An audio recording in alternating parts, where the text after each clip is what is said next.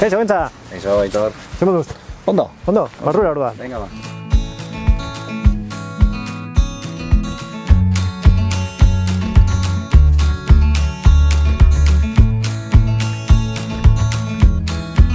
Lehenik eta behin, nor da gentza lamillo? Bueno, ba, gentza lamillo, e, berrogeta bat urte duen gazte bat da, ez? Luiandon bizia eta, bueno, Luiandon, bizi, osea, Luiandon jaioa eta Luiandon e, bizi naiz, e, nire maztearekin eta nire bizeme alabekin. E, azken lau urteotan e, aiarako alkatea izaiz naiz, ez? Eta, bueno, ba, leku hau, e, Zarabeko zela hoi hau aukeratu dut, E, leku historikoa izateaz, izateaz gainez, ba, esangura handia duelako aiara tarrantzat, ez?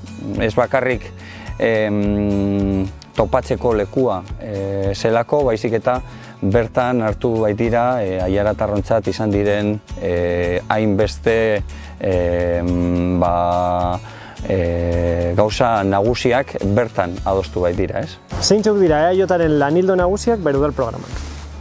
Bueno, ba, aiara eta aiara tarrak dira, ez, gure e, hauteskunde programarako e, oinarria. E, gure hauteskunde, hauteskunde programa hamar e, ataletan e, banandu dugu eta e, lehen adibidez gizarte e, politiketan e, ba, gizarte harreta zerbitzuak bultzatu e, nahi ditugu. Gero baita ere berdintasun, e, enplegua, euskera, eta kultura bezalako esparruei harreta e, berezia eskainiko diogu. Bertan, e, gizon eta emakumeen e, ongi izatea adibidez e, bermatzen delako, ez, e, arlo, arlo hoietan. Baita ere ingurumena eta lehen sektoreai e, jarraituko diogu nolabait e, e, bermatzen, ez, eta e, aiarako udalerrian hain garrantzitsua diren administrazio batzarrei bere lana babestu eta e, baita ere beraiei zerbitzu e, berriak edo eskaini baita ere e, hauek ondo lan egiten baldin badute, ba, aiaratarren bizitza hobeatzen delako, ez? Euskararen esparruan zein da EAJaren proposamena?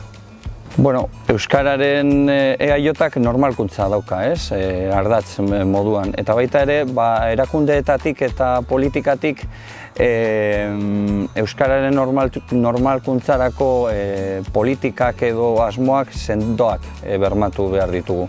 Eta nolabait, e, azkenean Euskararen erabileraren erronkari aurre egin, ez?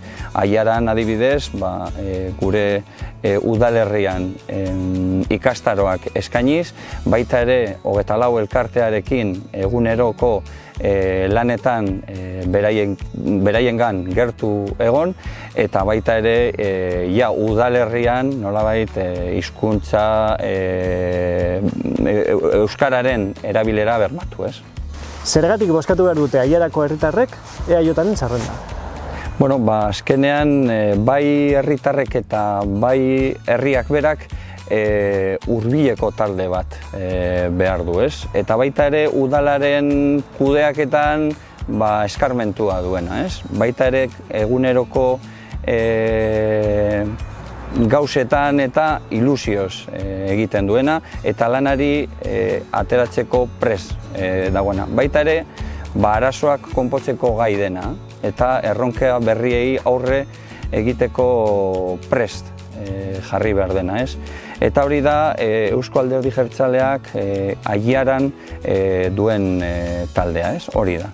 Herritarrek eta baita ere hainbeste e, maite duen herria eraikitzen jarraitzeko lan talde anitza. Azken finean lan taldea e, badugu eta bueno, aiararekin bat egin nahi dugu eta gure ustez e, esan dago guztiari aurre egiteko e, talde oberena eta boska egin behar dugun taldea EAJ PNV-koa dela.